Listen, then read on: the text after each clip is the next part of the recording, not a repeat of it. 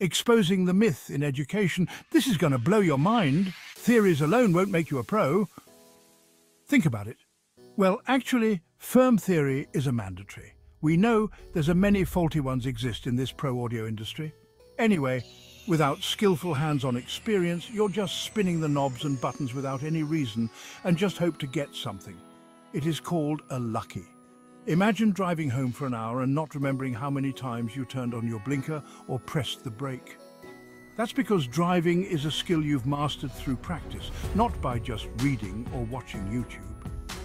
The same goes for any professional skill. Whether it's mixing a drum track or coding an app, real proficiency comes from doing not just knowing. Even with decades of theoretical knowledge, you might still struggle without practical expertise. So stop just talking the talk. Start doing. Turn your theories into techniques and watch yourself grow. Remember, the road to mastery is paved with action. Let's get to work.